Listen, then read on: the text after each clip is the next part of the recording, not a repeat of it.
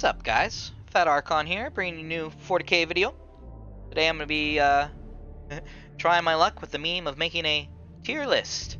Uh, in this case, I'll be doing Chaos Space Marines, the uh, new 10th edition index. I've been playing them a shitload since 9th. I thoroughly enjoy Chaos, and I think we uh, we actually end up getting a really, really good index. It should be a decent addition, maybe, once they fix uh, some of the glaring issues. I think uh, I think once they nerf some of the higher tiered factions, I think CSM has the opportunity to go up to A tier. Uh, they they should probably be top five if they aren't already, especially if the higher up factions get nerfed pretty hard. It's uh, it's been quite a while since I've done a 40k video, so I hope you bear with me if I'm a little rusty on this stuff. I'll probably say um a boatload, but I uh, I still love 40k. I still play it all the time. Still discuss it all, every day uh, on Reddit and sort of stuff. So yeah, Hope, hopefully this is fun and hopefully this is useful for some of you guys.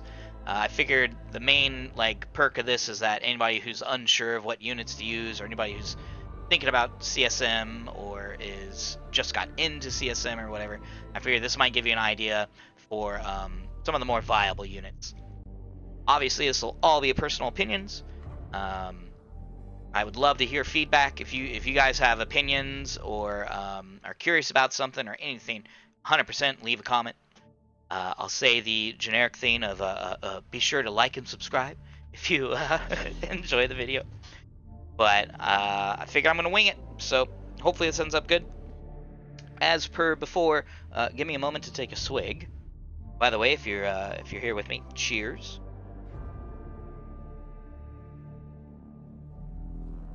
Ah, all right. Excuse me.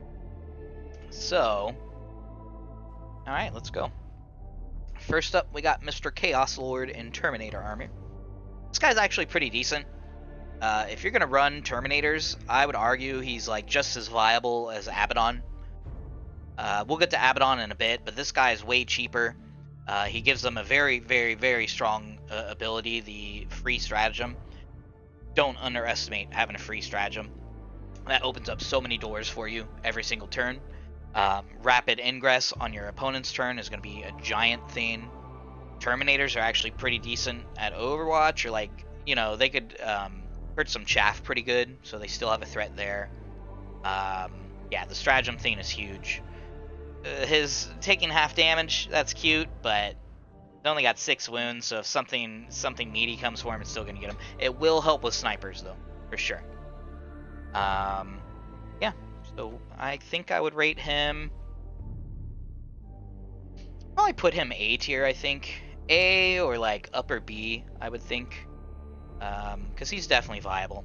Uh, uh, that said, it all comes down to are Terminators viable? Da da da. Oops, wrong button. What did I press? Alright, anyways. Uh, next up, we got the Dark Commune.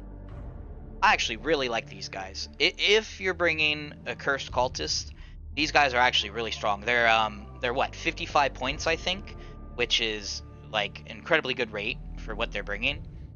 You give, you turn your Cursed, one of our most resilient units, even more resilient with the 5-up invul. And then the whole, He gives three different buffs, once per battle, but three different buffs with his ability, which is uh, advance and charge, and then plus one to hit and plus one to wound. All of those are gigantic. If you bring in a cursed, which, um, spoiler, they're pretty good. They're pretty good, although they do have some downsides. Uh, Dark Commune's useful. The the huge issue, the giant elephant in the room with these guys, is that that puts you over 20 models for um, Blast. So Blast will have a field day with the Cursed, which is a gigantic issue. Uh, spoiler warning. So, um, while you won't always run them, they are so cheap that I kind of think, and the buffs are so huge, I think they belong in A tier. Maybe even higher. It all depends how a Cursed Cultist end up in like the meta. meta. I think we'll get to a Cursed. Um, we'll get to them. Next up, we got Lord Disco. Oh, that is uh, this is a sad one. This guy is, uh, yeah, he's probably garbage. uh, maybe not garbage. Like you can still use him. Uh, not determined. We're gonna use. not determined. Uh, yeah. He's so bad he doesn't even have a rank. Um, his issue is he like he has no character protection now, and a five up invul is pretty bad. If he had a four up, that would help. T9 isn't quite high enough to what we want. Uh, he, he just really doesn't have the damage output like he used to. He does 9 melee attacks at most, um, whereas he used to do something like 13 or 14 or something. Uh, his main issue, though, like what it really truly comes down to, is his cost. This guy's way too expensive for what he brings. Um, there's plenty of other units that'll do way more than this guy for way cheaper. I guess.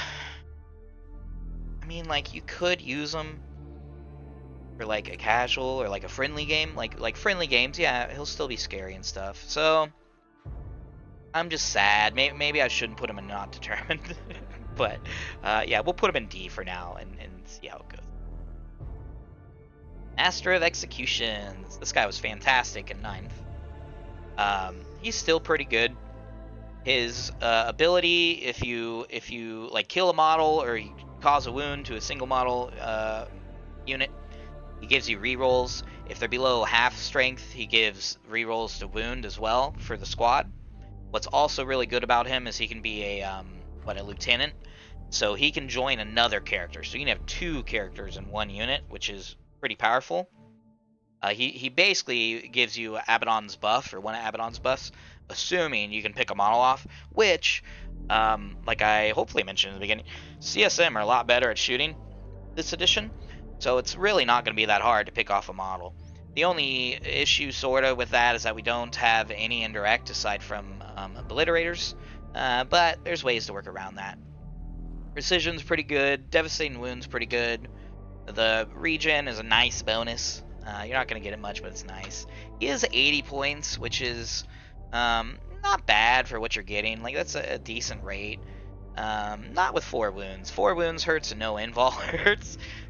but he, he's usable for sure. The lieutenant thing is pretty powerful, and if you can get his ability off, it's really powerful. I would put him in B. He's a, he's a solid B, I think. Sorcerer and Terminator armor. This guy's um he's actually okay. If you're bringing Terminators, he's actually good. Uh, some people have talked about running him solo, and I really don't agree with that. I I think you're paying too many points for something that's just gonna die next turn. Um, if you're doing the whole deep strike and use his ability. His ability, by the way, is you pick a unit within 12 inches, and all the rest of your army gets minus one AP against them, which admittedly is strong. Um, for certain factions, that uh, essentially takes away their saves um, which is is great for his. Uh, I believe he's 100 points, which is fine. He also gives advance and charge, which is very very useful for Terminators. Um, so if you're running Termies, he'd he'd be. I'd probably put him top of B. Top of B, maybe bottom of A. Um, we'll see. I do think Lord's better in most cases, but you know, take a look at your meta. If a lot of people have five up or six up saves, those are especially good. Uh, even two up saves, obviously, that's pretty damn helpful. So, um, yeah, he's, he's definitely viable. Regular Sorcerer. Yeah, this guy sucks. Uh, what, does, what does he even give? Oh, minus one to hit for the unit he's leading. And then he has a terrible, terrible ability, which is uh, you have to hit somebody with your Psychic.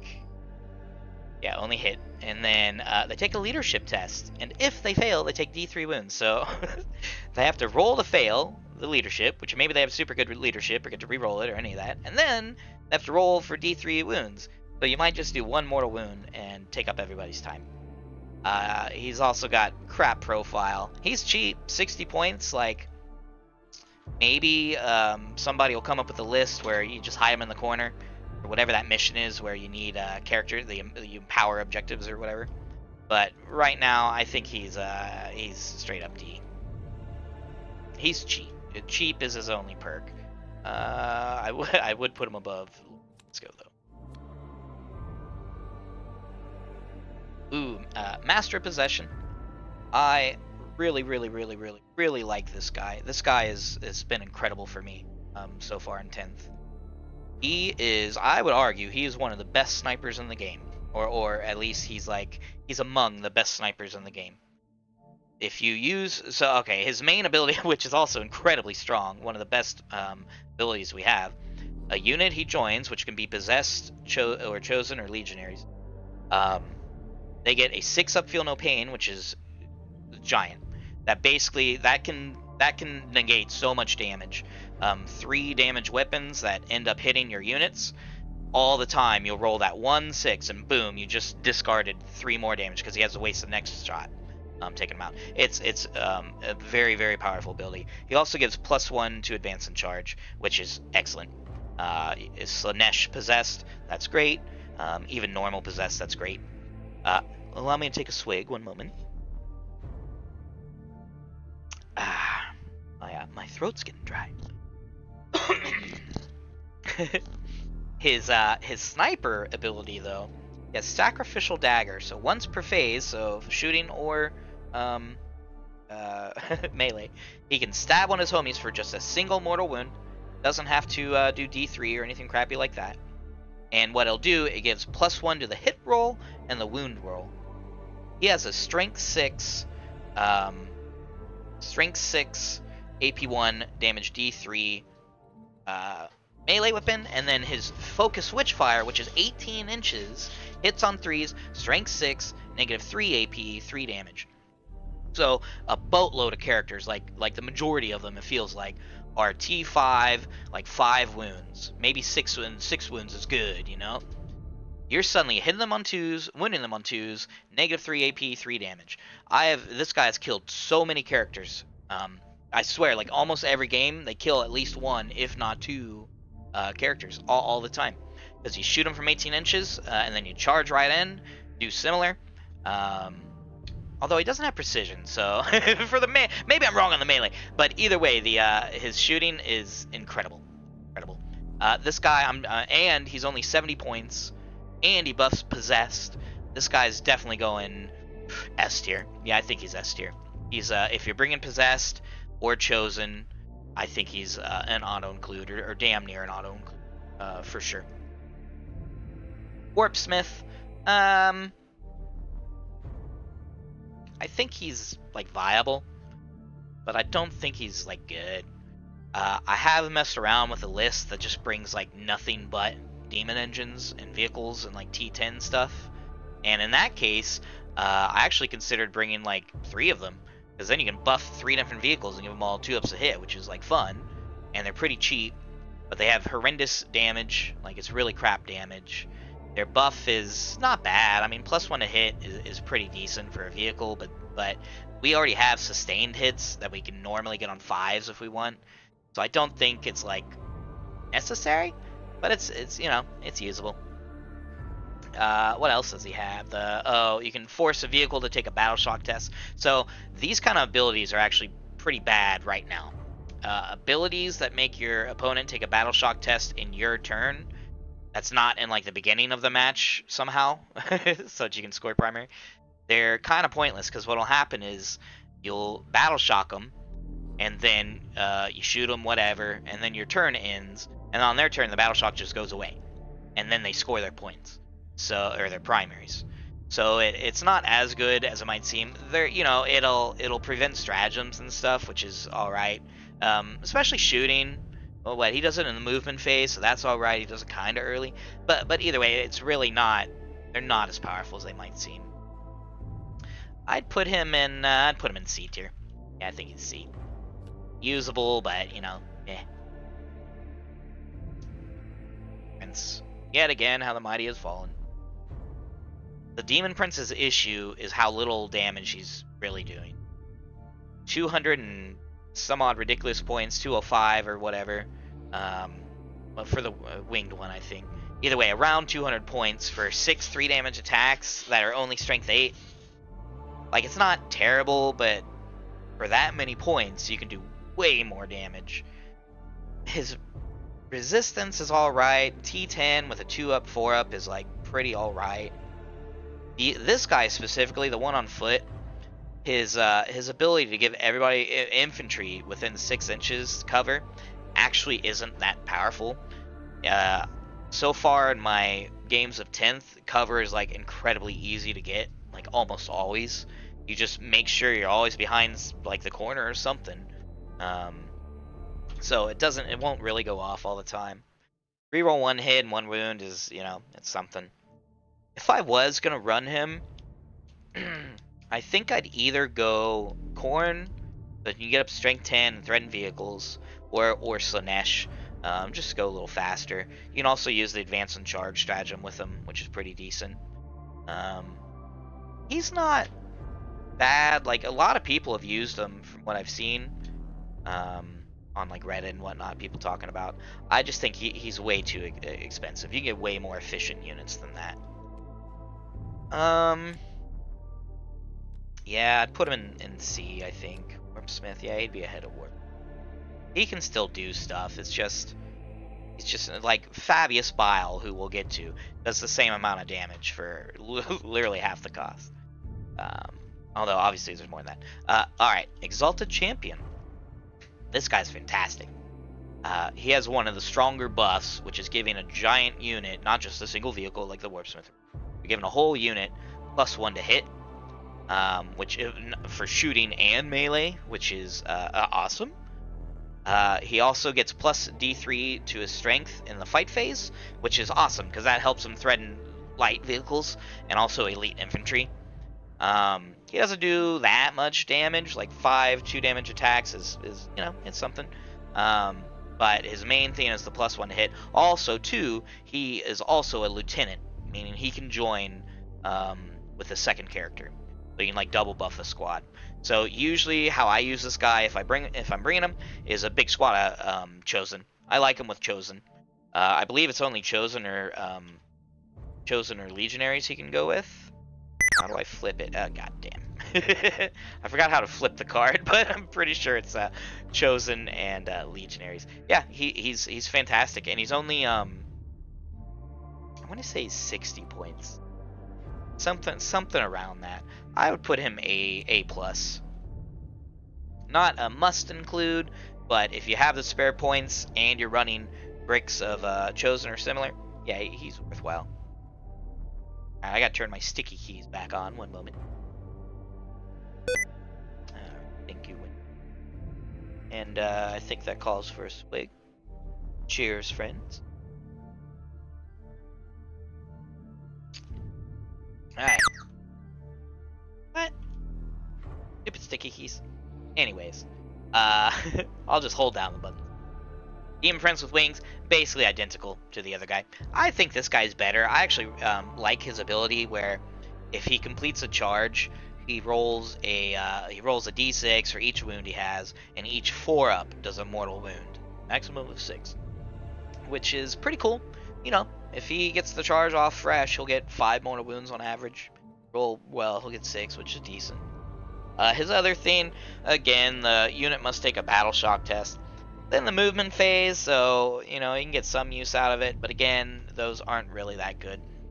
Despite being slightly better than the foot one, I'm still gonna rank them basically the same. Uh, this guy, I most likely would go Slaanesh uh, most of the time, just to get the extra speed, especially now that Fly is kind of you know, ever. Uh, that's one of the things I hope they improve. So I'd still put him in C tier. Chaos Lord. Same deal with the Terminator version, except this guy is probably better, I think. Um, reason being, he can join um, more. He has more options, sorta. He has Chosen, which are like fantastic, and then he has Legionaries, which are. Uh, and he's incredibly cheap. Only 70 points, I do believe. Uh, he and his ability is just like the Terminator, give a free stratagem, which is fantastic. And then he also has Chance for Glory, which is once per battle, once uh, per battle, he gets plus one strength, attacks, AP, and damage. Um, ooh, I somehow flipped the card. Uh, okay, the F key, uh, which makes him as powerful as a Daemon Prince for literally al uh, almost a third the cost. Uh, so kind of plays in why Daemon Prince is granted, he'll die uh, a lot easier, but still, he, he actually has an okay profile. Um, three up, four up involves fine, and then five wounds. Uh, I like to run him with Chosen, and then I actually I really like Nurgle Chosen. You would think uh, maybe Slaanesh, which kind of questionable and chosen because they have advanced in charge. But anyways, I like Nurgle because you get the free stratagem, and you just uh, you deploy him on the line or pretty much just wherever you want. And if your opponent tries to shoot him turn one or later on in the game, you got your free uh, lone operative stratagem to use on him. Uh, that also applies to the Terminator version. Um, so both of those are really, really good. That's an incredibly strong stratagem. So anything that lets you use that or the other stratagems even more is excellent. The other um, good use of that ability is the Armor Contempt. Normally costs 2 CP. Being able to use it for free is uh, is uh, and again, super cheap, super efficient. So I'm gonna put him in probably A plus, either A plus or like up here in the top of A along with Chaos Lord. Uh, only reason he goes above Chaos Lord really is because he's cheaper. Uh, and his uh, secondary ability is better. Getting the plus one, all that is better. Dark Apostle this guy has a fantastic model, which is almost alone to ring, uh, bring him. But he uh, he actually has a really strong ability. He uh, he adds uh, he adds one to the wound roll, which is very strong. Obviously, CSM have always been decent at melee, so this makes them even more decent. Uh, he also can take away battle shock. Uh, it just says at the start of any phase, so that's great. Start your command phase, use that. Uh, I believe you'd still get to score because um, I believe scoring is well, it's one part of the command phase. I forget if it's the end or the start, but either way. Uh, and then what's this last one? Oh yeah, you can have one of your little dudes explode. On a uh, two to five, they do one mortal wound. On a six, they do D3. It's uh, it's something. It's better than their single close combat attack. Uh, let's see. Yes, I can flip it. I was gonna say he can choose uh, a lot of squads: a curse, chosen, cultists, or legionaries. Um, obviously chosen, pretty good. Not sure I'd put him in a Curse Cultist, although it is a permanent Dark Commune buff. Um, so, you want to do a theme list or whatever, it'd be fun. I do think the other characters are better uh, at the end of the day. Uh, but he's not bad. 85 points with the uh, ablative wounds. See, I think he has two little. Yeah, he has two little helpers. So he got two uh, extra wounds. Uh, he's I don't think he's A tier. I don't think you'll see him that much just because melee is not as powerful as it was, like at all. feels like. Um, and other characters just give the better buff. So I'm actually I'm gonna put him in B. Yeah, I'll, pro- probably put him at the bottom of B so far for now. All right, Mr. Abaddon. Oof. All right. That might be, uh, maybe it's a controversial take. I, I, don't know, but I, I'm not really sold on Abaddon. 280 points for a T5 model. Only 9 wounds. Can't even buff his bodyguard unit because they already reroll hits. Well, okay, he can give them, yeah, and they already have a 4-up invul. uh, you know, and then when you include the Terminator, if you go full, which, like, why wouldn't you? He's up to what, like almost 700 points for that? Nah. If he was T9 or something, maybe even just T8. Wish I could say T10. And yeah, maybe a little cheaper. I'd like him a lot more. The thing is, like, he will do a boatload of damage if you get him in a melee with a knight. He has a decent chance of killing a knight in a single turn. There's rerolls and devastating wounds. He does ultra buff the unities with, even though his um, card abilities don't necessarily, because he has every single um, uh, mark of uh, the Chaos Gods. His CP regen is fantastic. We don't have many CP regens. CP is a precious commodity. So like like he he'll do stuff if you bring him for sure. It's just you could get so much more for what you're paying. if you went the full bodyguard unit, which I'd assume like everybody would, um, for that 700 points, you could literally bring three defilers and a hellbrute, I believe. You could take your entire shooting, you know, and do way more every single turn of the game than this guy could. I bet if you did the math, those four models right there would outdamage these guys. Or, you know, I guess what Terminators do a lot, but they'd have to get into melee. There, there's like multiple things. Also, precision. Precision's gonna eat this guy alive if somebody spams it. Um, so he's like, again, he's usable. He's not bad. He's just inefficient. How I look at it, inefficient is my opinion. Also, too, like you compare him next to Lion or even like Guilliman, I'd maybe, I'd kind of argue, he, uh, you know, he could be better for for the cost. He could be better. I think. Ugh. I don't want to offend anybody, but I think I'll put him. I'll put him top of B, I guess. I'm biased though. I'll tell you that right away. So if you uh, if you have a different opinion, definitely uh, please share it because uh, I would be interested if if he does well. I just feel yeah I can get a lot more without. All right, cheers again.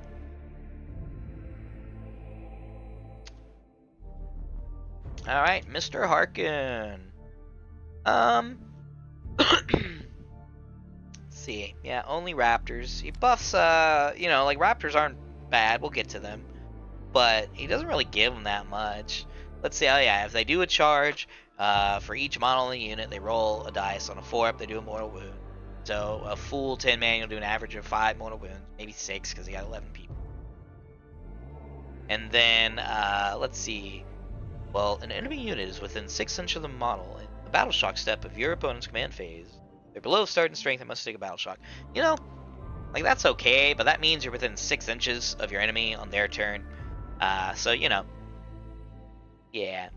I think, too, it says in the battle shock step, so wouldn't that be after they score? I believe.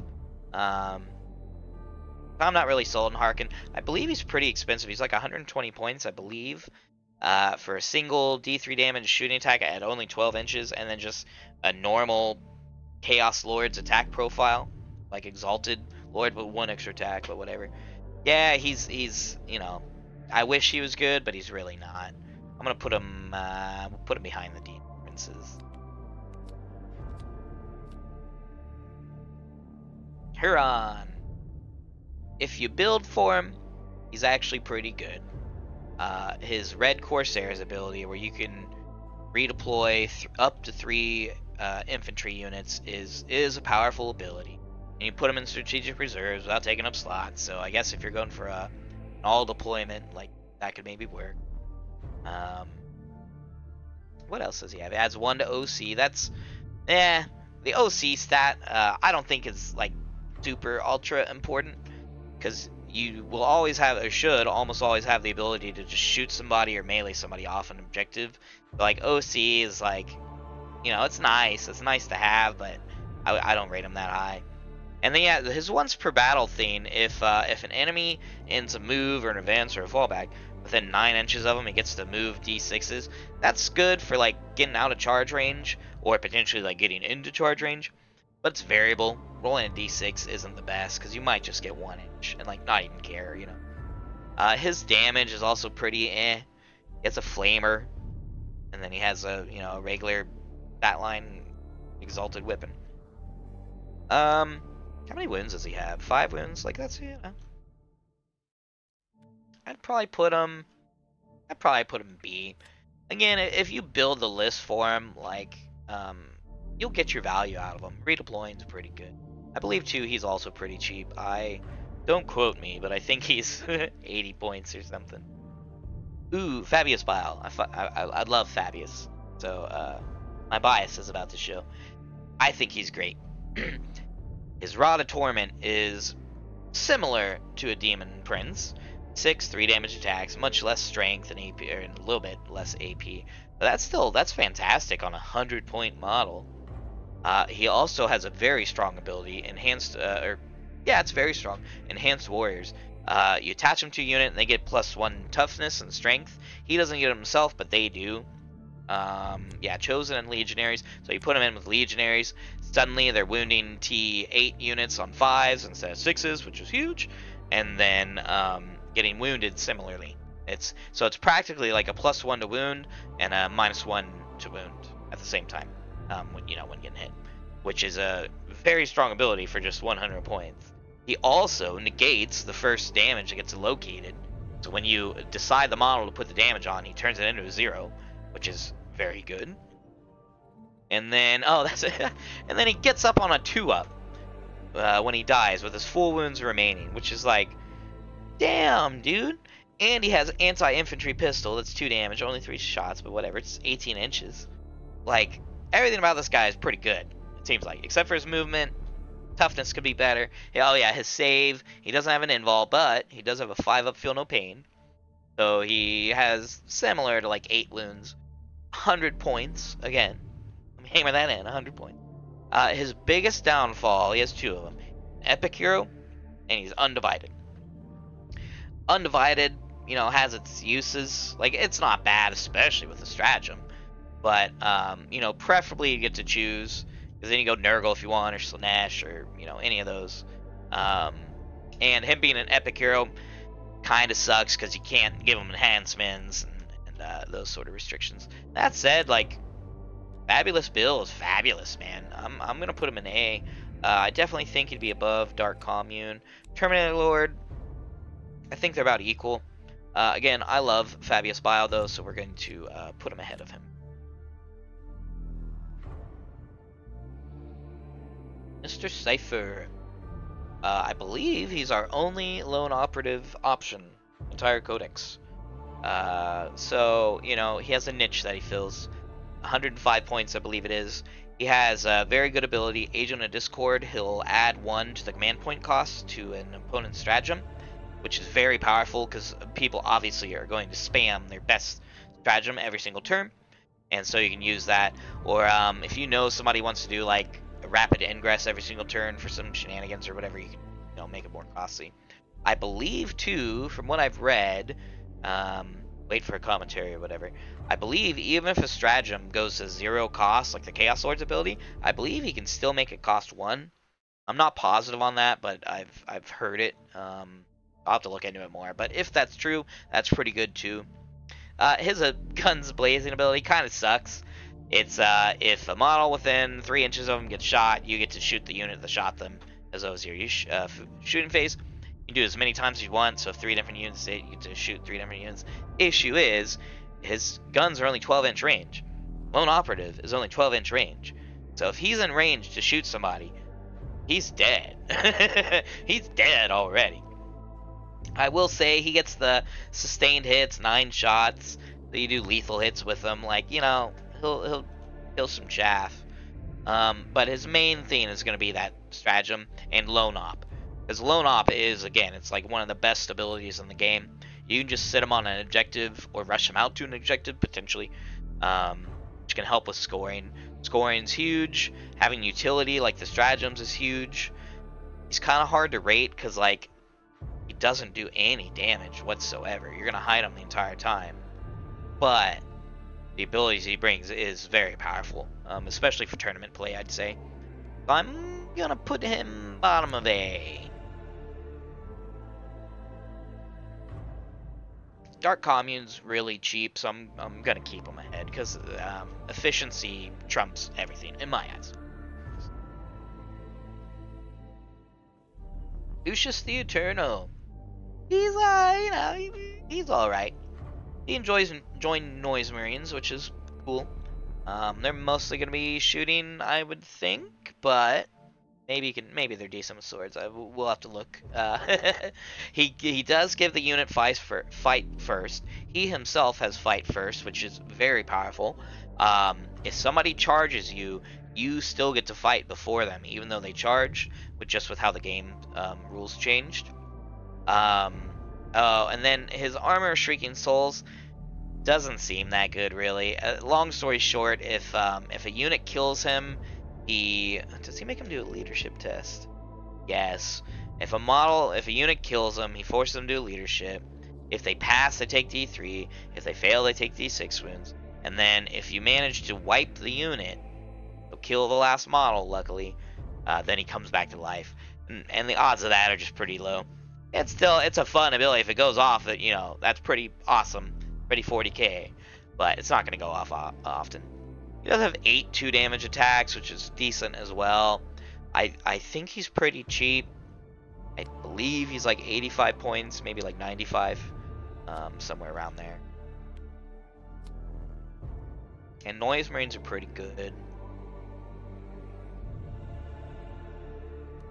Yeah, I'd probably put him somewhere in B. Somewhere in B, to be determined. Uh, Vashtor. Trash Tor. Uh, he's better than he was. Sorta.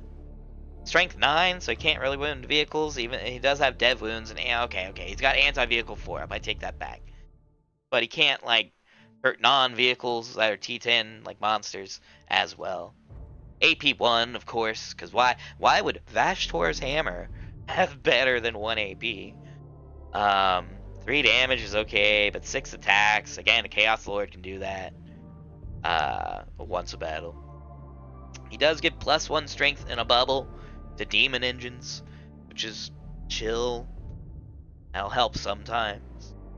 Uh, and then he he has the 18 inch ability where what's it say? End of your movement. He targets a vehicle, and then yeah, you have their move character, which characteristic, which is great, and then you subtract one from their tax characteristics from the melee weapons they have, which is all right. Um, way too expensive though. Way, way, way, way, way, way, way, way, way too expensive. Man, they should have made this guy way better. He does have a lot of wounds. He has fly, which doesn't mean anything, so I don't know why I brought that up, but I really want to play that guy, but uh, yeah, he's not, not yet. Maybe when the Codex comes, maybe he's a sign of Dark Mechanicum coming. It's actually okay. This is like the penance we pay. So we get badass army here soon. But I'm gonna have to put him in. Uh, yeah, probably bottom of D. He's worse than a Discordant, I'd say. You know, is he worse than a Discordant? You know, he's probably better than I don't know. I don't know, but either way, he's trash. Get out of here, son. You know what? If he's trash, what am I doing? Not determined. Traitor Guardsman, 70 points. I know that. Um, these guys are pretty good. Um, do they beat Cultist Mob? I mean, in a lot of ways, yeah. Yeah, actually, they do. um, but a lot of times for that unit, you're just trying to get the cheapest thing ever because literally you just want to stay on objective. They do get some awesome um, war gear, especially now it's uh, free, I guess. Which, uh, eh, but whatever. Sniper rifles could be interesting because you can you can bring three of any um, special weapon. So you have three melta gun, three plasma gun, three sniper rifles. Like all those are decent. They do hit on fours, but you know them's the bricks. 70 uh, point unit. They still get the uh, Dark Pact, so they'll still have sustained hits and all that. Uh, what do they get? They get oh they get cover automatically in range of a objective. That's fine, fine. I think they're perfectly serviceable. I don't think they're great um, necessarily. I don't think you'll see them all the time, most likely. Um, but super usable, super fine. Probably, yeah, I'd put him above Lucius. Yeah, I'd put him somewhere around there. Legionaries! There's nothing wrong with them, but they're trash, in my opinion. They're like, they're trash. They're serviceable, they're usable, you'll win games with them just fine, but Chosen are better. Chosen are 15 points more for basically better everything. Uh, arguably, you could bring Legionaries with the las cannon or the auto cannon, and like that's decent. It's decent. But again, man, Chosen are 15 points more for so much better profile. Uh, mainly the three wounds. Three wounds is gigantic. They do have other perks. Uh, OC2 which I kind of mentioned earlier. I'm not huge fan of the OC stat, but admittedly, you know, a higher is better. Uh, they do have a uh, neat ability if they get to reroll um, wounds of one with a melee attack, and if they're at an objective, they reroll all wounds. Um, I shouldn't say they're trash. It's just that you compare them next to Chosen, and like, yeah, they're trash. Um, so I'm gonna put them in D. Like you, like like I said, you can run them, you'll win, they'll do just fine. But chosen are better. Again, uh, there's an argument to be had for MSU, five of them with a las cannon, ten wounds and a las cannon shot for hundred points. Like you know, you know, it's something. Uh, Traitor Enforcer. This guy, I recall thinking he had a pretty decent.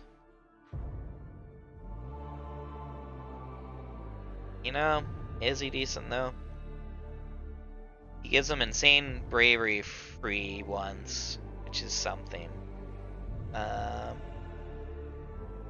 and then he, he himself, or characters, get a feel no pain for it, which is alright on the Ogryn. 8 attacks, hit on 3s, just 2 damage each. I forget what he cost. I want to say he's like 65. So he's like slightly over what I'd want him to be. Um, he, he'll be fun in a cultist list or similar. But I don't think he's that good. Let's see, uh, who, who can they attach to? Just the Traitor Guardman squad. Um, yeah, doesn't really bring anything. so, I'll put him in C. Put him probably, probably near the bottom of C. Fellgor Beastman, what the hell are these guys? Where the hell did they come from? Um, they have scouts. They're the only unit in our index that has scouts, I do believe. Uh, and they have a decent, somewhat decent ability. Yeah, what if they're in range of an objective? You add to the charge roll, which is, you know, what they want. They are T4. They do have a 5 up save, but I believe they're 95 points. Now that costs, like, you could get better stuff for 100 points. They're pretty much melee only. They hit on 4s, which sucks.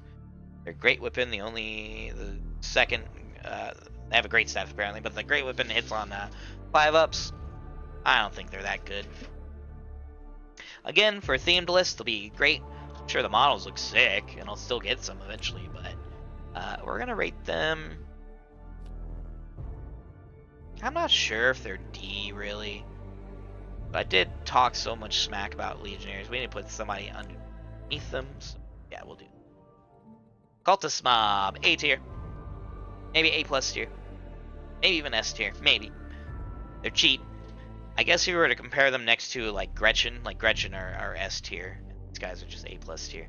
They have uh, they're 55 points, which is like the biggest use of them. The free equipment, as much as I may not like that, um, does give them a bit more punch. Um, you know, you got a grenade, a crack grenade, so one strength nine, uh, D3 damage, which is great. Heavy stubber, it hits on fives, so still, you get some strength four. Flamer, decent. Um, oh, and uh, yeah, yeah, I, I, believe I already mentioned it. Sticky objective, fantastic. If you get them to survive a single turn while they're on objective, then they've done their job. If, like, I'd pay 55 points to hold an objective, like 100%. Every turn, in fact. Uh, okay, maybe not every turn, but they're fantastic. They're, they're great. Kit them out with everything. Hope GW doesn't fuck you next edition when they change the rules back to how it was and you have to pay for everything. Uh, I'm gonna put them. I'm gonna put them A A plus. Again, they are just so cheap. Uh, I think you'll see them almost every list. If they don't bring Accursed or whatever else, I think you'll pretty much always see cultists, just like it's always been. They're they're really not. They will die to a stiff breeze. The uh, the thing with cultists is uh, like most likely you want to run them as Nurgle, or you do want to run them as Nurgle. What am I saying? Gives them exploding hits, which is great. Volume's always good, and then uh, just the threat of you using that lone operative strat will usually keep them alive um, from indirect or similar stuff like that. That said, you do need to be mindful. So let's say you got a squad of chosen with the Lord, and then you got your Nurgle cultists, and they're both Nurgle. You want both of them to have uh, lone op your opponent would have to be dumb enough to shoot the cultist first. But no opponent's going to do that. Every opponent, uh, maybe not the first time you play him, and by the way, you should probably tell him it's a gotcha. Um, probably, or at least mention it before the game. Sorta. I don't. I don't know how you want to do it, but uh, it's a gotcha. You don't really want to win that way. Um, but anyways, people are always going to shoot the Lord first to force you to use it, and then they'll force you to pay on the next one. So, so it's really hard to get to. But either way, yeah, they're uh, they're probably best Nurgle. because you can keep them alive turn one, get your home objective, and then throw them away. Do whatever you want. I have had them kill off um, Gretchin and the sort as well. Noise Marines. Oh my god. These guys are 85 points. Again, okay, Legionary. Okay, one second. Legionaries, where are you? trash. Forgot about forgot about these guys. Guys are cheaper than Legionaries and better. Free equipment. So uh, they have really good fucking uh, damage output, ranged damage output, which is superior to melee uh, output uh, for free. Uh, uh, what do they get to? Oh, and you enforce battle shocks again. You know, it's still, it's still, uh, you know, it's nice to have a bonus. 85 points. 85 points. I bet you that's why they're so cheap. That crappy ability. These guys uh, will probably. I would not be the least bit surprised if the points stay the same. If these guys become a tournament staple. If you just see every single army run a bunch of them, because they're uh, probably they're they're one of our most efficient units. Period. 85 points is nuts. Like GW, you're silly. I want to put them in A plus, maybe even S. Like they might belong in S. God, it's hard to put them. Um, I'm gonna put Cultus in it. Do something like that. Yeah. Cursed Cultist. Ooh. Probably A plus. Probably B. In the end, A. They are super efficient. They might be our most efficient unit, period. So the thing about them, sort of like one of the few things, multiple things, torments are basically a possess. In fact, torments are one to two possessed for basically half the cost because they get d6 plus two. So if you roll high enough, if you roll six, and that's rare as that'll be, that literally is two possessed. Basically the same profile.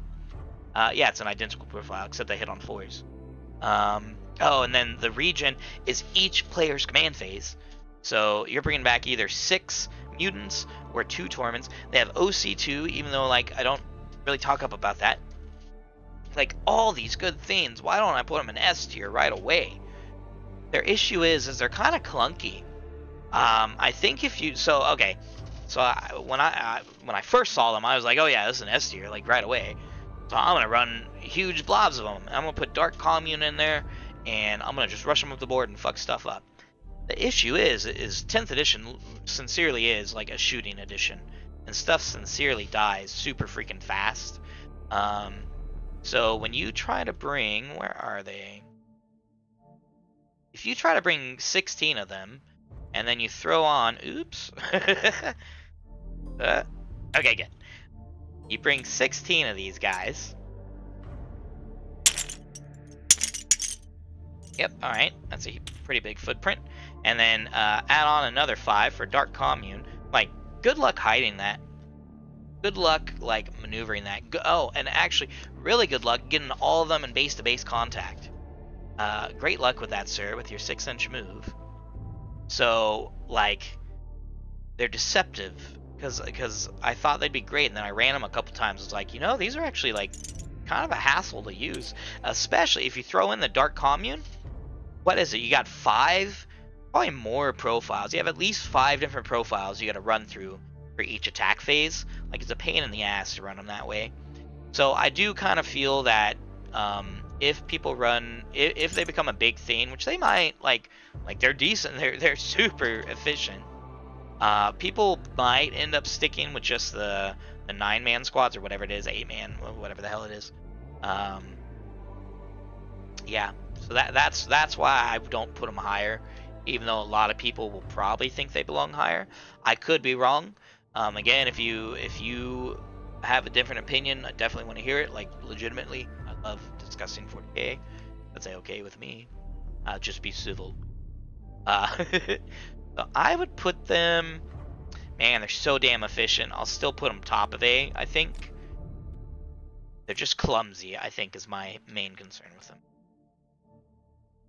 Alright, I'm gonna take a break. Uh, I will be right back. You might not even know that I took a break. I missed anything? Alright. Much better. Anyways, where were we? Alright, we got we got Terminators. Terminators are uh, they're decent.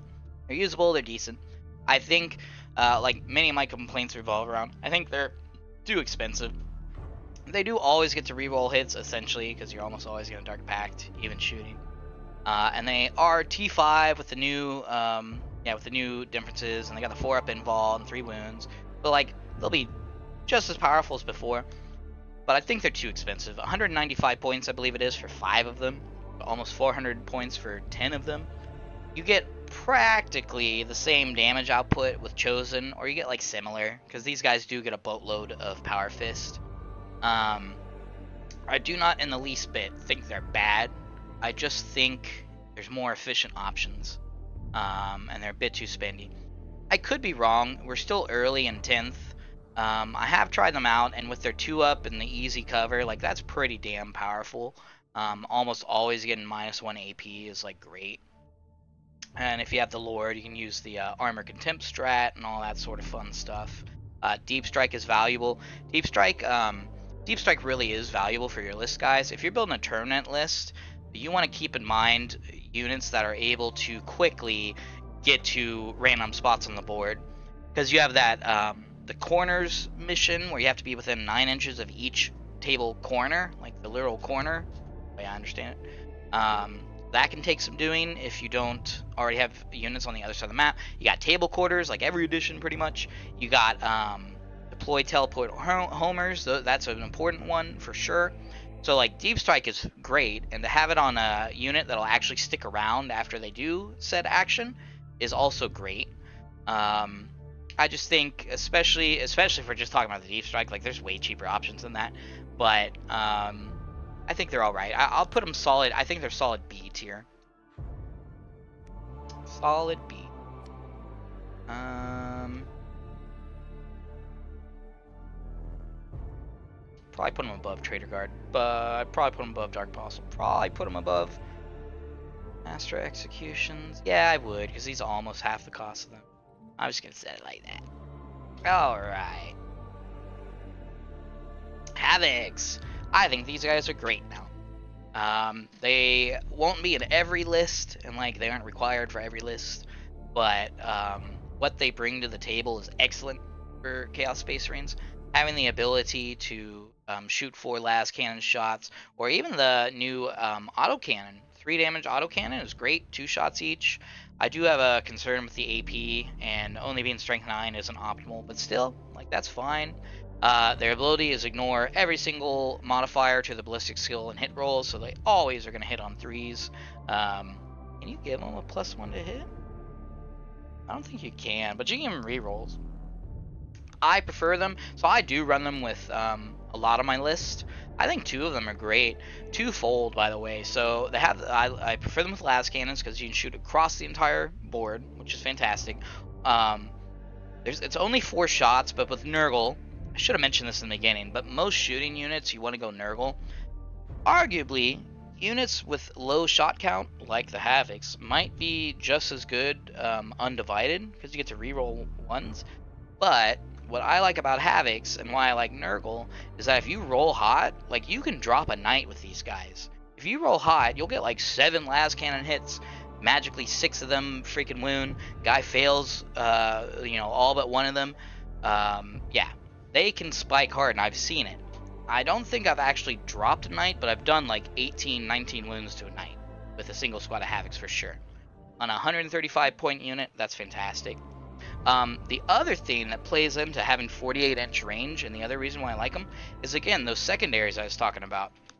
I've had, so there was one game where I pulled that whole, you know, be 9 inches from the corner thing, and it worked out perfect because I had a Havoc in each corner.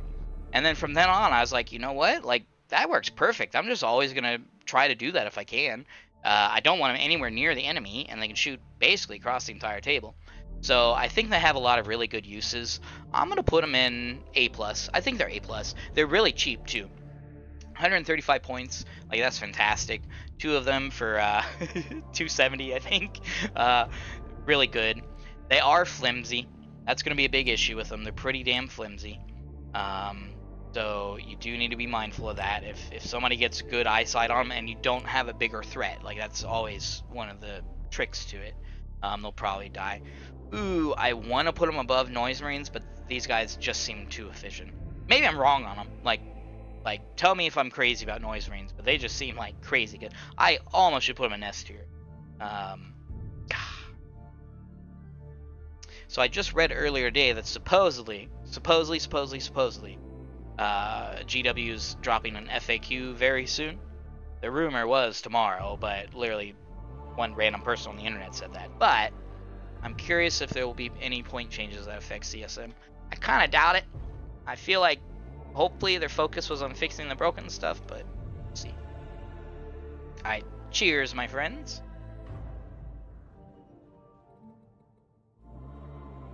Ooh, Obliterator. We got a fun one.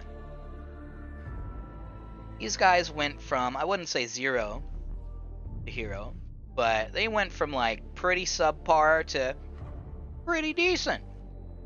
I know some people swear by them. I'm pretty sure Warphammer, by the way, I love your stuff if you magically happen to see. Uh, uh, I believe they rated them like basically S tier or whatever. I think they said they were going to bring two squads of four every time, or like even, maybe even three could work. I think even with all the buffs they've gotten, all the fantastic, like nothing but buffs for these guys, they dropped in points, they got more damage, they have an awesome ability where um, they get direct fire, indirect fire once per battle, which is like fantastic when you have four inch move. It's terrible.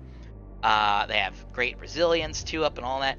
Same issues before. They're still too expensive, man. Even at, I believe it's 80 points each. For five wounds, like you know, okay, it's not the worst.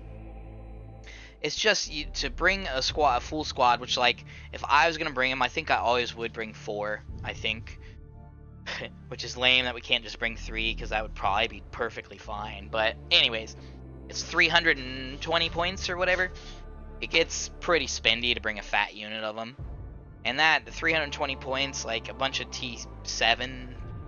What is that? 20 wounds it's not the worst thing ever, and, and for all the smack I'm talking, they are still A tier, like 100%. I just um, don't think they're S tier. I guess is why I'm defending myself so much. Uh, uh, credit to Warphammer. They have a really um, good advice, which is don't fall for the trick of using your indirect fire turn one. Optimally, or turn two, I should say, because optimally you'll probably deep strike these guys. And so what they were saying, which makes perfect sense, is deep strike them, within line of sight of whatever you want to shoot, annihilate it because they most likely will, and then the turn after, that's when you use, or you know later in the game, that's when you use indirect fire, because legit four inch move is going to be rough. Basically, wherever you plant them, that's where they're going to be the whole game. Um, yeah, you know they'll inch their way to an objective, hopefully, hopefully, but um, but yeah, they do have decent melee as well. Like they can definitely defend themselves. Um, what is that? 16 attacks. Great. Um, but again, I think they're a little on the spendy side, and we still have better options technically. So I don't think I can put them in like S tier. I don't think really. Ooh, maybe they do get A plus. So more about them because they're good and they're fun. So like, if I was a new Chaos player, 100%, I'd probably bring Obliterators because they're like one of our cooler models next to the Defiler, in my opinion. Uh, they have they're they're decent anti-knight and, vehicle, I should say, an anti like big ass model, because you get the Melta 2 on a 4 damage weapon. So if you get within 12 inch, which is simple with deep strike, you're doing 6 damage attacks. The other issue that plays into the why I don't rate them higher is they do have variable attacks, only D3 um, attacks each, and it's not blast on the best profile, which kind of hurts. But either way, if you roll lucky, uh, legit, you'll drop a knight. If you roll unlucky, you'll be pretty disappointed. But, you know, AP 3, Strength 12, they're not going to roll bad that often.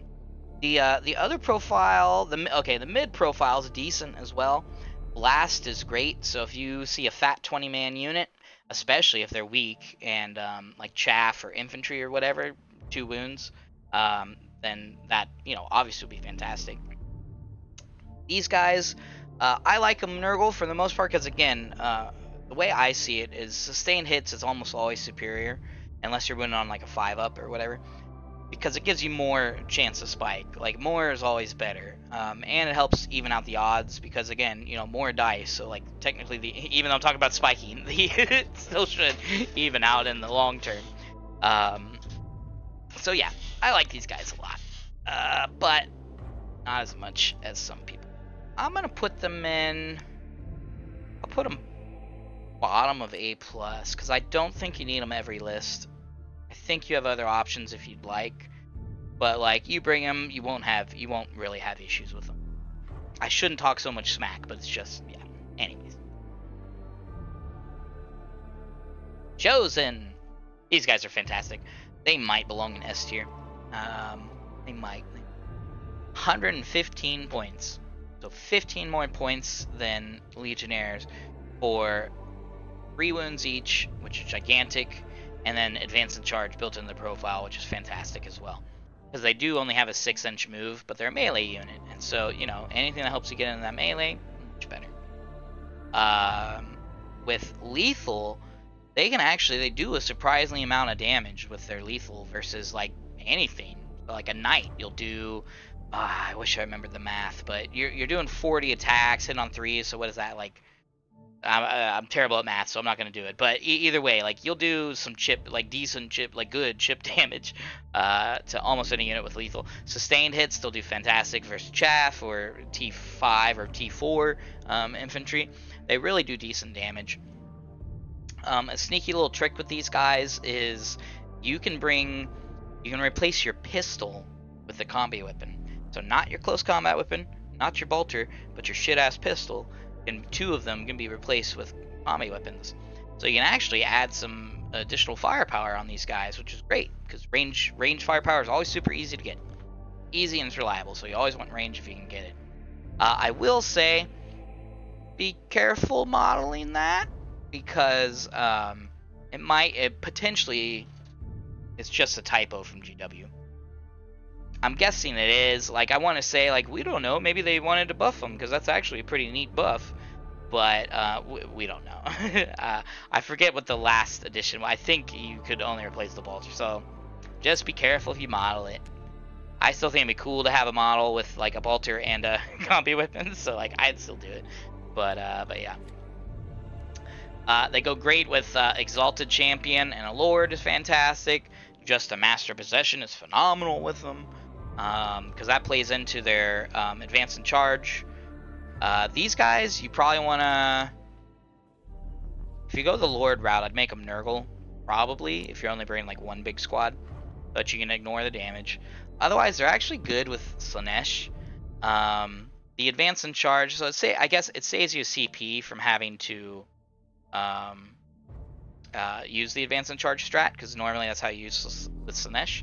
But exploding five ups a hit, like, yeah, that's what you want. So most likely you want to go Slaanesh. Arguably you go Undivided. I want to put him, uh, ooh, do I put him above Noise Marine? You know what? I want to be honest. I really like them, so I'm to put them in S tier. Uh, I think they're better than Terminators for sure. Because they're almost half the cost. They're like, what, 60% of the cost or something? They're practically the same damage output. Um, lots of good stuff about them. I, I, like them a lot. Yes, they have one damage swords, but AP2 is pretty good in this edition. Uh, you still get, I think it's one power fist per five, so you get two power fists, which helps. I like them a lot. They're, they, and it, again, it comes down to efficiency. Those guys are damn cheap. Ooh, possessed. These guys were definitely my favorite in ninth. I was a, I was a possessed fiend. Uh, I ran a list with three squads of 10 uh, for a good while, and it was ridiculous. Like, yeah, these guys would just annihilate, and it was unf- it, man, it was rough because I did uh, Creations of Bile. I got fight on death. So basically, if I fought another melee army, it was game over. But enough about 9th edition. Uh, these guys, are they better? I think they're better than they were. I think they're better than they were. The the issue, I guess, the quote unquote issue would be that um, T10's a theme now and only being strength 5. I guess they did lose what they did lose some strength in AP, I think. But either way, they do the same thing they did before, which is just like annihilate literally anything they get into. These guys have uh, one of the best abilities, which is each time they make a Dark Pact until the end of the phase, they get devastating wounds. Well, that means if you run Undivided, you get 40 attacks and you're rerolling all the hits on three. So I'm pretty, and then you use Sustained. So you got like more than 40 hits, uh, which is insane. And then every six to wound is a mortal wound. It turns into mortal wounds, so two mortal wounds each. You reroll every single dice that's not a six, assuming the target, you know, um, deserves it. And boom, you're doing something. I think it's like 28 mortal wounds or 24 mortal wounds to literally any target in the entire game. They could be T69, and you're still gonna do almost 30 mortal wounds to which is uh, insane for a single CP. The thing is, so in eight in ninth edition, they were very resilient. Three wounds with a five up invul. Uh, T6 uh, that did get buffed by the way, which is fantastic. Um, very resilient. 10th edition, not so much. We'll get to a unit shortly that will pretty much wipe these guys out in a single volley for cheaper than they cost from across the entire table. Um, consistently. They'll, they'll do like seven um, kills consistently, if not more. So they're not. So they're pretty vulnerable, is the issue. They're like so good I still think they're worth bringing in a lot of lists. Not always, but in a lot of lists. But they're not like they used to be. They're not. They're not going to weather the storm or whatever. Which I've been experimenting with bringing two squads of ten. I'm not sure this will be the final list. Like uh, we'll get we'll go over lists at the end potentially. We'll see. Video's getting long, long. but uh, uh, one big squad with a master possession. Always put an MOP in there. It's always worth it in my opinion uh, as Nurgle, and then another squad the same with um, Undivided. I like the so it all depends on the rest of your list. Like if you got multiple Nurgle things that you plan to lone op on, like obviously you might not do this. Um, but for that list, uh, basically the plan is you do your best. They're kind of hard because they're kind of big, but you do your best to hide the Undivided on uh, your deployment and then you just put the Nurgle front and center on the line, out right out in the open, just saying, "Hey, hey can't hit me." And um, and yeah, play the strat on them, try to get them up the board, and you know, play from there. You really do want to be like really cagey with uh, with these guys, I think. And you know, obviously, unless your opponent has crappy list, like maybe they didn't bring range or something, um, then you know, go balls out. These guys will annihilate casuals, I think. Some casual games like um, if you want a powerful unit, like maybe you got a friend you don't like, really, you know, they're frenemy, uh, bring some Possess, man. Undivided Possess. Another really excellent use of these guys is they're cheap. They're like, they're efficient for what you get. They're 145 points, I do believe. And they have a 9-inch move, T6, that's all fantastic. Um, so another use of them, you can run them MSU and just use them for getting objectives because they still have scary melee even as MSU. Uh, 22 damage attacks, like that's no joke, man that ain't no joke. And with 9 inch uh, move, you know, maybe you advance first turn, you get crazy wild roll that rarely happened, but you get 15 inch movement. Like, that's fantastic. Um, the other option is the obvious one of Slaanesh. And Slaanesh, ultra viable, because then you get advance and charge for 1 CP. Like, um, usually if you're doing that, you're doing big blobs of Tin Man, but uh, either way, there's multiple ways to run these guys. They have multiple niches that they fill. I really do think they're um, just as valuable as they were before.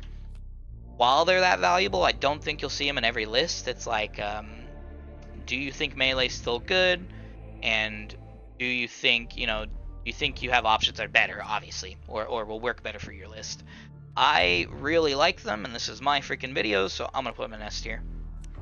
Um, yeah, I think I'd put them above Chosen even. I really like them. Not sure I'd put them above Cultist, because again, you'll see them in every list. And, uh, you know, clearly, Possessed and Master Possession go to go together. Um, you know, he's on a pound. Raptors. you know what? Cheers. Cheers for the Raptors. these guys are decent. Uh, 95 points for deep striking, 12 inch fly, which doesn't matter much. Although these guys are infantry, so actually fly is pretty decent um, with them because they just still ignore the walls. um, and so you're getting that extra movement. Um, the but every time enemy takes a battle shock, minus one leadership, that's fine. You don't necessarily want to be in six inches always, but you know that's decent. Uh, and what at the start of the fight phase, I have to take a battle shock again. Fight phase, whatever, that kind of sucks, especially because that's near the end of the turn. Uh, why why I really like them plays into the themes I've mentioned kind of earlier in this video is objective play. Objective play is giant, and these guys are fantastic at it my last game, I actually I thought I was gonna lose big time, um, because we were playing a funny map that was like nothing but terrain, so it's like impossible to shoot, which is great. Like that's how maps will probably need to go. But it was uh, it was awkward. It was a weird map. Like it was set up weird. Um, but anyways, I thought I was gonna lose. I had two units of Raptors I brought for scoring, like basically it, and I gave them melta guns, so they have a little bit of chip damage long story short, they were able to um, do behind enemy lines on my opponent's turn and um, ended up scoring that. And that was really cool. So he charged them and he killed at least one of the squads. Um, they ended up flipping him a primary objective and all this stuff. It was like fantastic. Um, that's right. I rapid ingress one of them. And so then on my turn, I got to move them and managed to shoot a couple Gretchin and then charge them, and with sustain, I managed to clear out the Gretchin and take the objective. He countercharged, I killed all but one of them, and what was awesome is my next turn, I was reading the secondary, and it was. I want to say it was deploy teleport homers, because uh, I believe you do it in their deployment zone. And so I looked and it says, you know, must be eligible to shoot or whatever. I was like, well, I'm locked in combat. If I fall back, I won't be able to shoot. So that sucks.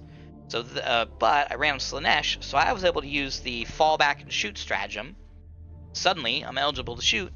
Boom! I uh, use that ability, and I end up scoring even more points. And so um, I had two squads of the Raptors, and they ended up basically winning the game for me. They basically got like half my score. What's funny about that, though, is these guys have pistols, so if I thought about it, I didn't need to spend a CP. I'm still eligible to shoot with a pistol. I could have done my uh, done my activation. I'm pretty sure you still get the. Do you still get the fight after that? I don't know, but either way, still could have scored even though I was locked in combat. I like these guys. 95 points um, is fair for what you're getting. Wish they're 85 like uh, Noise Marines, but they're good. Do they belong in every list? Not necessarily. Will they work in every list? Yeah, I, I think they'd work. Like they'll score. Um, and again, give them plasma or whatever, and they'll um, or melta, excuse me, and they'll plink some win. I'm gonna put them uh, probably bottom of A tier, probably above Cypher. Dark Commune is still so cheap, like it's it's hard to beat cheap. Yeah, yeah, I think that's good. All right, Bikers. I used to love these guys in eighth or ninth as well. Um, because they're really tough, tough little scores, and they could clear out uh, chaff really easily. These days, not really sold on them. I think we have better options. The as usual, the keyword restriction sucks. Um, terrain's really gonna mess with them. T5, 3 wounds, 12 move, like that's fine, but they're still kind of spendy. I believe they're 95 or 105, something like that for just three of them. You can give them the Melta for free, which, you know, gives them a little bit more firepower. I think um, similar to Raptors though. So I'm talking all this. I'm talking down about all this stuff. They're basically Raptors though. So really, I should rate them probably around the same. I think Raptors are better, so therefore I'm gonna put them in B tier. But um, I think yeah yeah. I, basically, I think Raptors better. If they could deep strike, that'd be good. They could do a little bit more damage, that'd be good. But they're all right.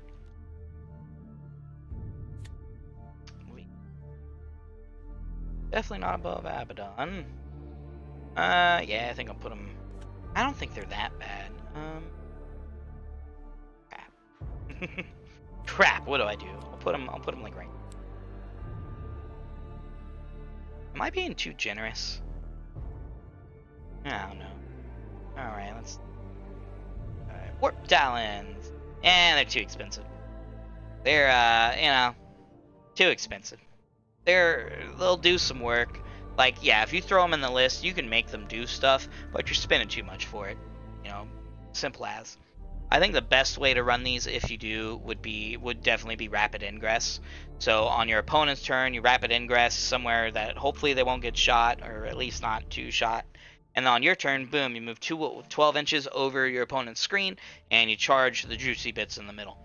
Um, I think that might be the best way to do it, but it does require one CP. Their ability is all right. What is it? They uh, they can't fall back. I think they have to take a leadership though. Each time an enemy unit is in engagement range, to fall back if they're not battle shocked. Oh. Okay, they just automatically take a desperate escape, and if they are battle shocked, they take minus one. So one through threes would kill them in that situation. Um, that's actually decent because um, if you can tie up something important, preferably with blast, so it couldn't shoot you, uh, then that could be all right. Um, but again, I think they're too spendy. They need to knock. Uh, it's not. It doesn't even seem like much, but they need to drop like 10 points off them. Maybe maybe 15, maybe 20. I don't know. They need to drop some points off them. Because at the end of the day, they're still two wound melee units with one damage. They do get to reroll all the wounds, which is great. Um, but me melee might not be as good as it used to be. I don't think it's dead by any means. Otherwise, I think CSM would be in some trouble. But um, Hmm. I think I'll put him in C. I think I'll put him above the Daemon Prince. Spawn. Oh my god. All I have to say 80 points. 80 points. No invul. Hit on fours. I got a random profile. Rap AP. Like, they only regen D3? What? They used to heal everything, and that was kind of cool. Like, they have a 5 up feel no pain, but 4 wounds. There's just, there's no redeeming. I can't think of a single redeeming quality at 80 points. That's just ridiculous. Um, they go straight to trash tier. Straight to trash, or excuse me, not determined tier. uh, oh. oh. Alright. Forgefiend. This guy is probably our best unit. Uh, I would say three of them, every single list, probably an auto include. Probably an auto include. Uh, the so actually, okay, so ectoplasm, time three, ectoplasm is, is I would probably the best choice. The thing is, math hammer wise, the auto cannon and one uh, plasma cannon actually like does more damage on average to a variety of targets. The thing is, uh, I don't think I math the devastating wounds very well because I didn't like fish form or anything. I was using UnitCrunch by the way. Um, but I actually so how I've been running them lately is two of them with the plasma, and I do one of them with the autocannon, and it's been working great. Autocannon actually works pretty good for single models, so like um, greater demons or stuff like that. It's actually pretty good because you get the weight of fire with lethal if you want, um, and then dev wounds is uh, freaking amazing. Um, they ultra, ultra, ultra shine versus units with blast. Any unit with 10 models or more is like perfect. Because you get, you pretty much, you double your plasma shots on average versus a 10 model unit.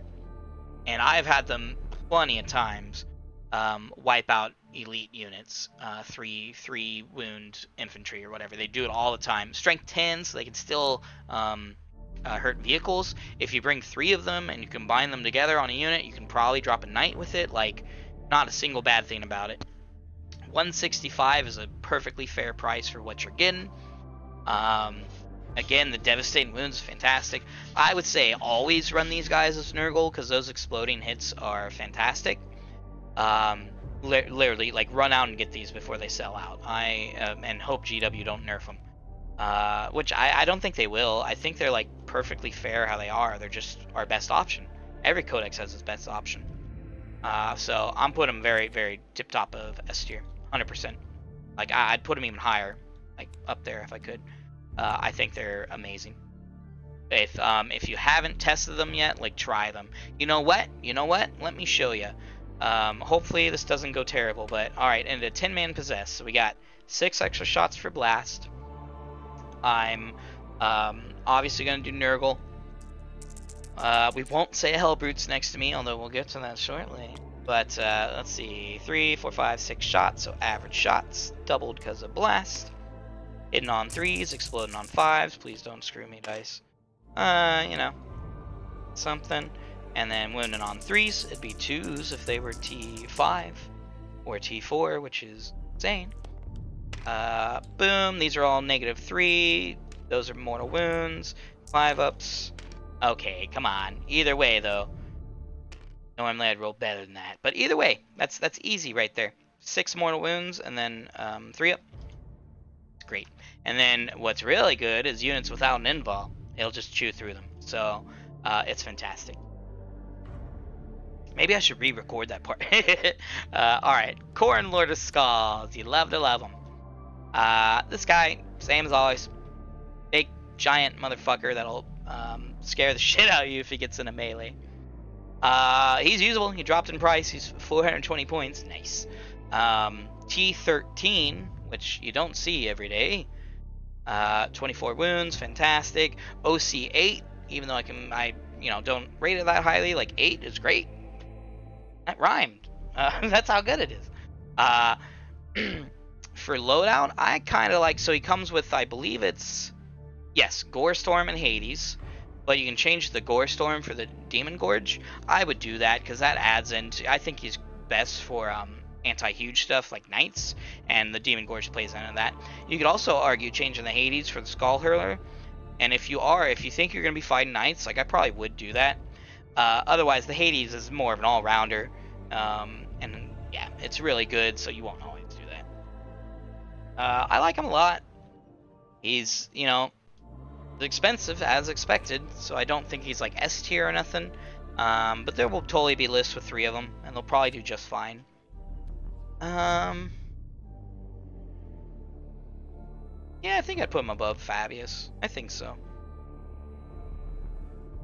I'm wondering if I put put Term Lord above him either. But again, my list, I like Fabius a lot, so we'll keep him there.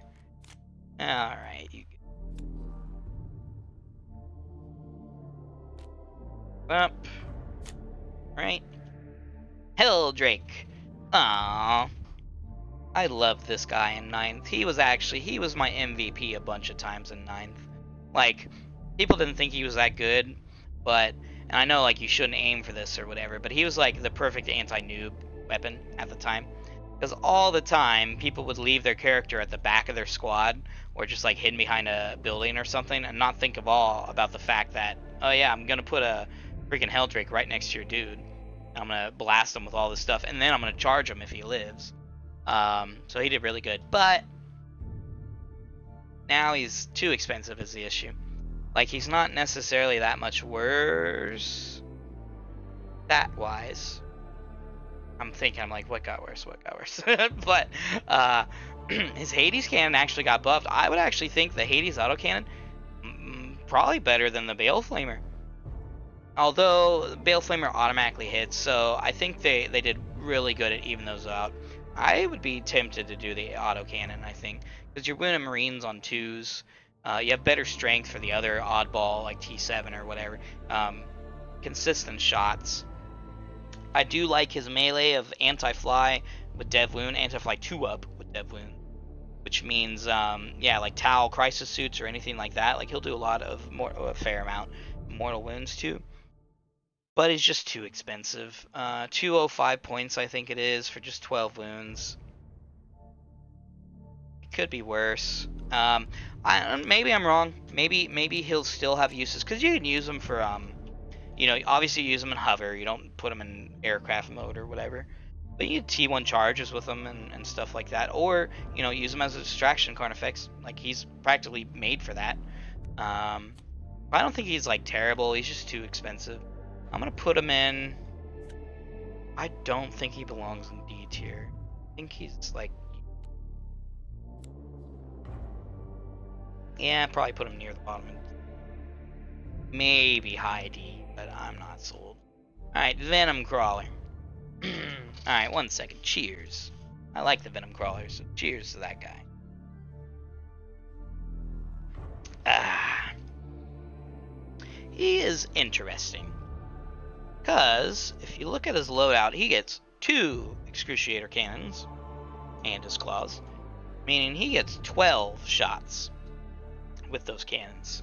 And he has a really, really fluffy and fun mechanic of that. Any phase that he kills a unit, he kills like the last model, he gets plus one attack to all of his weapons. So he gets plus three attacks, because he includes the claws, uh, attacks every single time he finishes off a unit. And he's like tailor made for clearing chaff. 36 inch, strength 6, minus 1. He like just melts like cultists, for example, and stuff like that. Uh, 12 inch move is is great because he's a speedy little demon. I do think if I were uh, if you were gonna run him, you'd probably want to run him like a um, not a skirmisher. I'd run him aggressively, so I'm run him up the board. I guess maybe it would be skirmish because you take the um, no man's land objectives and then you hang around there and just like sit on the objective and protect it. His huge issue though is his cost. 140 points is pretty spendy. For 25 more, you can get a Forgefiend. Um, but I think he's pretty good. I do think I still, at the end of the day, I think he's pretty good. Um, because there's certain uses like Necron Warriors, he'll he should be pretty damn good against. Again, Chaff, Cultist, or anything like it, like he, he will melt through, and he'll get those extra attacks. And there will be a game where you get what plus six attacks when you include the tendrils um, by just killing two units or finishing off two units. Like, damn, 140 points. Eventually, he gets really, really scary. But he's uh, he's really um, pretty flimsy for how expensive he is. Because even Sithsters, who suck at anti-tank right now, um, maybe they got the miracle dice. But either way, uh, even they will have a field day with the Venom Crawl. So I think honestly, I think more testing is needed. I do plan on running them um, a few times. Running three could be fun. I will say you might just bring two Lord of Change instead, but I'm gonna put him in probably very top of B. I would even put him above Abaddon. I guess one other thing about Abaddon is his buff. Like I didn't really mention that too much, but you can buff uh, almost your entire army, or like a huge chunk of it with rerolls, which is pretty damn strong. So fine, I'll uh, I'll be diplomatic. I will put him above. Oh my god! Oh wait, I thought we were out. Hellbrute. So all right, when the index first released, I wasn't sold on it. I was like, you know, that's like a cool ability, that's strong, but he has all these issues. He only moves six, only got eight wounds, blah blah blah blah blah blah blah blah. No, you think about it more. First of all, a huge thing. His how dark pacts work. It just says on a five up, if you choose Nurgle on a five up, you get a critical hit. Well, with Dark Ascension, boom, you suddenly get five up lethals and sustains. So, what is that? That's like a 30% damage increase or something. Like I'm terrible with math, but that's an insane uh, output boost. For 155 points, that buffs multiple units like I think he was balanced right because he's kind of expensive and like doesn't really contribute much damage at all on his own. But my God, if if you're running the triple Forgefiend, like you're bringing a Hellbrute, you're bringing a Hellbrute. Like just do it. I don't think you bring multiples really, but one of them, like yeah, S tier. I'm bringing me personally with the list I'm doing now. I'm bringing one in every list. Um, and if you did like it might be the viable list this edition for CSM. Maybe it'll be the most viable or one of the most viable in all Demon Engine list. Like almost your entire army T10 or T9 is is pretty awesome, and this guy will just like put that in over. I really like the Hellbrute. Um, what was the second ability? Oh, yeah. Don't bring the fist. Personally, I would run um, las cannon and then the hammer. Personally, uh, that way you're multi-roll. That way if somebody charges you, you still can threat them a little bit. I wouldn't do the missile launcher and las cannon because then you only get two shots and that's not the best. As always, run on Nurgle. Um, with Hellbrute, like, he, he's not there for damage. Don't use him for damage. You need to hide that dude. yeah, and you need to hide him good. So put them behind buildings. Make sure your opponent can't get line of sight when they get their movement and everything, and just use them to buff. That's what he's there for.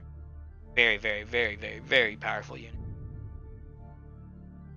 Maulerfiend. This is one of my favorite models. One of my favorite CSM models. Um, I had really good results with him in ninth. and I'm hoping that'll be the um, result in 10th as well. Because I use them exactly what I think they're there for. Ba- basically, distract. Well, more than the distraction Carnifex, you shove them in your opponent's face. With this version, you say, hey, if you don't deal with this guy, you're going to have 10 lascannon equivalents uh, in your face next turn. Um, so I think he's really good. He's cheaper than the Forgefiend, so he's not that hard to fit in the list. He's T10, which is fantastic. If a if a certain army doesn't have good a, um, AT, then you know that just makes it even harder for him. Um, I run him with the magma cutters. I, I think that's way better than the lasher tendrils because he's not there to kill chaff. And if you get caught up with chaff, like whatever, shit happens. Magma cutters is way better because that'll help them take down a knight from time to time. My one concern is, is like I never roll that well with them. It feels like, and in fact, let's uh, let's see how it goes. So I need to make up for the earlier rolls. So we'll do uh, we'll do the fist, and you know what? We'll do the meltas as well. We're gonna say he meltas before he runs it. So hits on threes, explodes on fives versus a knight. Two wounds on fives and threes. Alright, uh, this would be maybe five ups just AP2. Yep. Alright. Yeah, watch him like drop a knight this time. Let's see. Yep, there we go. Alright, he would done uh get plus one damage. Yep. He would have done 28 damage. Damn, my dice rolls would be different than they usually are. Anyways, uh, I like him a lot. I think uh, I think he can even work if you do the three Forgefiends. I think he can work if you bring two of them, maybe just one. What I really like about him is the, is again the distraction Carnifex, because he or threat saturation, I guess I should say, because you bring other scary stuff, especially if you're trying to get in melee and want to play melee. Like he's especially good there, obviously. Um, but yeah, they have to pick and choose. Do I want a Maulerfiend tearing up my big stuff? Or do I want the Undivided Possessed tearing up literally everything? Do I want, you know, blah, blah, blah, blah. Uh, that said, I don't think he's like S tier at all, and I definitely don't think he has to go on every list. Um, he will have issues with terrain. Again, his rolls are pretty variable. I've rolled pretty bad before, usually, it feels like. But I do know that, like, yeah, you'll roll good sometimes and he'll wreck them. Um, Oh, also his ability. He has a really good ability. He re-rolls advanced and charges, and he ignores all modifiers to advanced and charges, which plays into him perfectly. Uh, I would run him Slaanesh 100%. That way you also get the fallback and charge, which will be important if you do get tied up by chaff or something. Um, man, it's my list. Do I keep pulling that card, or do I put him...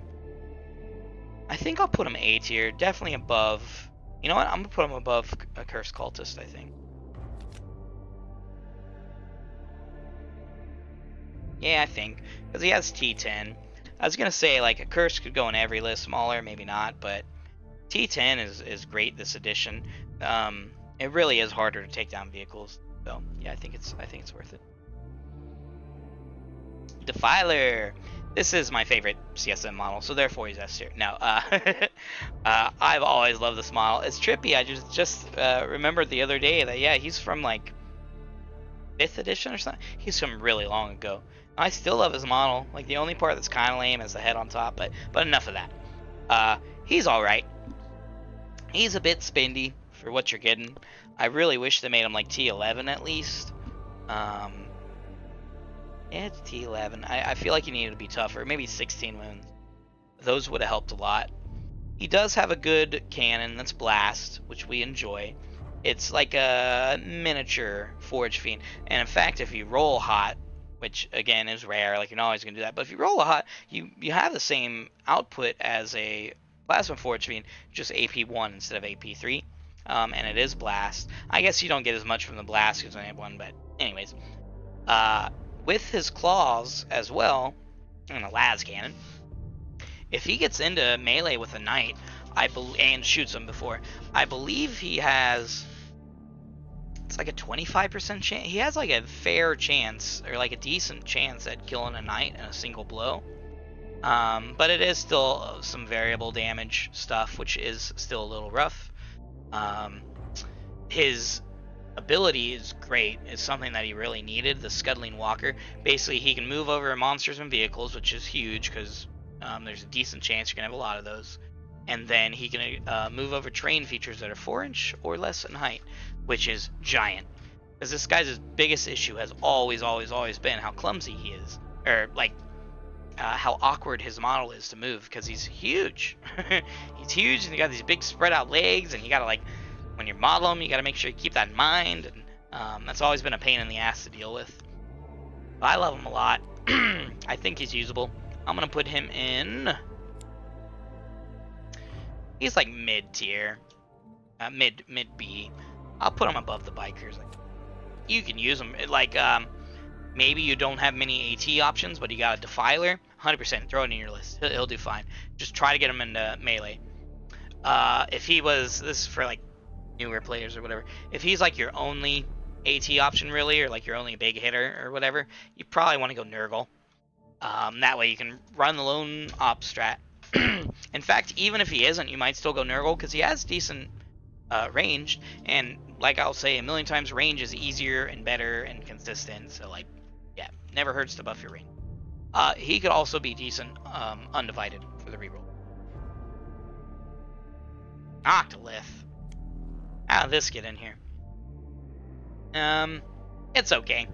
I believe it's 125 points uh, and gives the 9-inch bubble of 4 up invul. There's lists that can make use of that.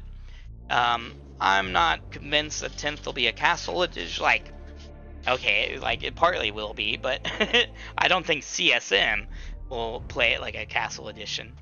Um, also, too, somebody pointed out he doesn't. Uh, yeah, he he's not a heretic Astartes which means he does not benefit from his own aura, so that kind of hurts a lot. Oh, and also he's freaking giant. Getting that dude's model on the field is freaking pain in the ass. Look, it's like this is fairly accurate, bigger than a Khorne Lord of Skulls. Um, so wish I could love it, but I can't. I think there's again, I think there's ways you could do it. Like if you build for it, I'm sure you can get some fun use out of it, but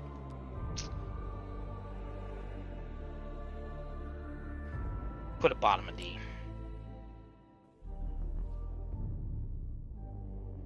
Predator. Uh, both versions. We'll just combine. They're okay. They're usable.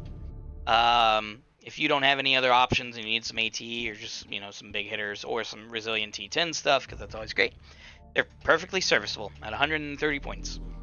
I personally would go for the las cannon version. I just think it gives you more AT, which, you know, we always love having.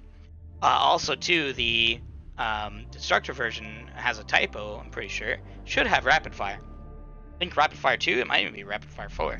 But either way, it needs Rapid Fire. That'll help even that out. Um, but even then, I kind of still vote las cannon. So, like I said, perfectly serviceable. Nothing too fancy about them. Um, getting T10, 3 up, like, it's fine. At, at the point cost, it's fine. We'll put it, um,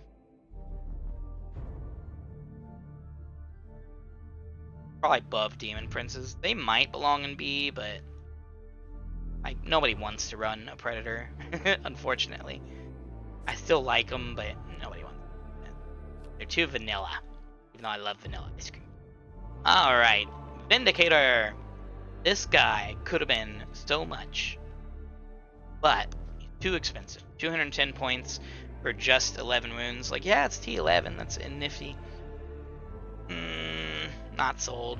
the T14 helps because that's better than Strength 12, so you can deal with Knights a little easier, but not positive on it. Variable damage as well, which blows. That absolutely blows. Because there will be times when you're like, ooh, I got sustained hits, and I got like seven hits on a Knight, and five wounds, and oh, I rolled a two, a two, and a one, and a three, or whatever. Like, you did crap damage for your 210, and then you just blow. Um, I think he, I hope he'll get a points drop. I would expect he will. Because a lot of people are like, want to run him. Because he does have interesting stuff. By the way, he can uh, shoot, blast, and melee, which is alright. Um, yeah, he needs a point drop. He needs a point drop bad. I think he's better than a Heldrake, maybe. I would think he's better than a Heldrake.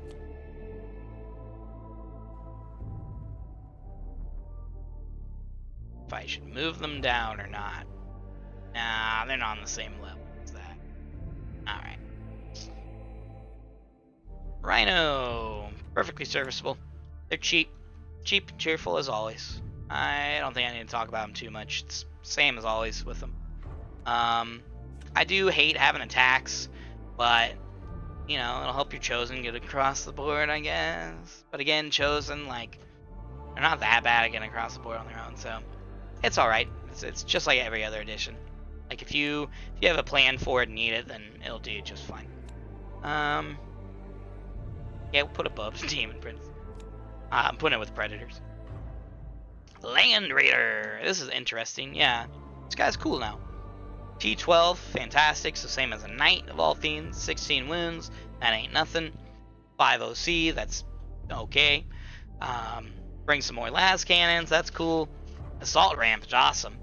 But again, he's really expensive. and again, he only really brings like chosen. I guess you could bring like five possessed, but it's a freaking expensive ass uh, transport for just five possessed especially when you can um, uh, reserve them. So he's all right. He's usable. If you want to run him, go on ahead. So some armies will have a hell of a time dealing with T12. So um, like 100%, there will be certain games where he's MVP. Be other games where he just sits back and does nothing, or even worse, he gets blown off the table. He won. Um, especially Oath the Moment and shit like that. Especially if you put guys inside of him which just drives up his price even more. Uh, I would say he's not that much more expensive than Vindicator. That's a tough decision. I would think probably equal to the Vindicator. Eh, he's probably better. In fact, yeah, I don't know how the Warpsmith's so high.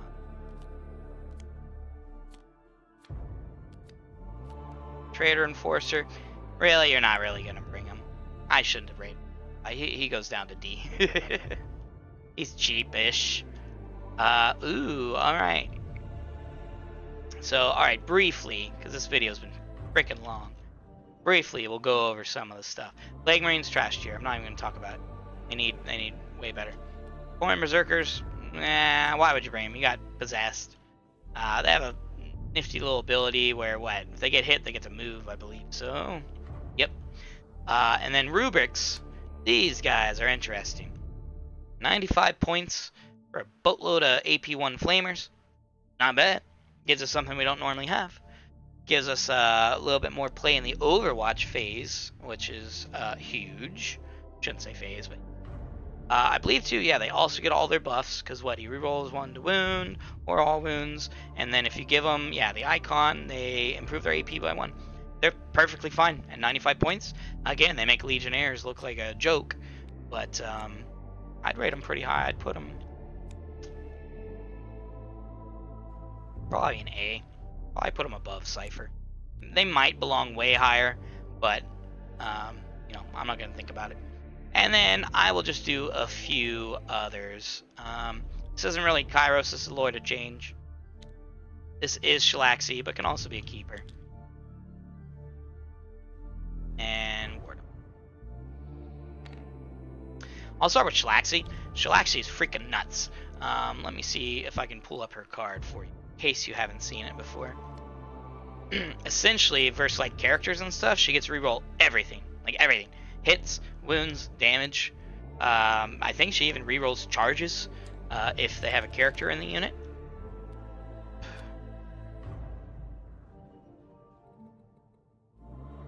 Yep, rerolls charges, and then hit roll, wound roll, damage roll. She has 10 multi-damage attacks, 6 of them are d6 plus 2, strength 14. Uh, the Math Hammer says she will drop a T12 24 wound knight 96% of the time. This bitch crazy. Uh, for 400 points, which is expensive. she does, though, have a feel no pain and 20 wounds and freaking T10 and 14 uh, movement. She's like everything you want in a super ultra murdery, super beautiful, super awesome model. Her price is the only issue. 400 points is a hard pill to swallow, but she'll get the her points worth if uh, if you use her right. I'm gonna put her in. I think she belongs this. She's really spendy. That's tough, but I think she belongs this most of these are probably tied, aside from the Forge Fiend and Hellbrute, maybe MOP. But uh, but yeah, she's good. Keeper, similar level. Keeper's pretty expensive, and you don't quite get as much. So like, I don't think you'd really bring her. Just bring Shalaxi, but she's there. Uh, Nurglings are S tier. 40 points for a secondary um, scoring unit. So even though they don't shoot, they're still eligible to shoot, quote unquote. Read the rules commentary if you're not sure. Um, so you can still do secondary missions with them for 40 freaking points. The other thing that's um, arguably maybe better is move blocking. So they have infiltrate. Infiltrate means that they can start anywhere on the board that's nine inches away from the deployment zone or enemy. Um, and so they are freaking insanely good. They also have a clever little minus one to hit, which is just like great if you get it um, to support other units preferably. Four wounds each, so 12 wounds for 40 points. Like I can't tell you enough how good Nurglings are. These guys belong in S tier, um, and in fact, I'm putting them up. I think that I think they go like above even. I think you could run them in every list, and I do think a lot of chaos lists, especially like knights or whatever. I think you like want to bring Nurglings.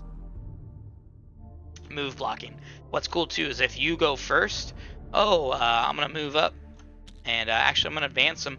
Oh, you uh, you are literally can't move out of your freaking deployment zone. You're a dumbass, and I'm better than you. Um, so use the Nurglings. uh, yeah, get out of here, Plague Marines.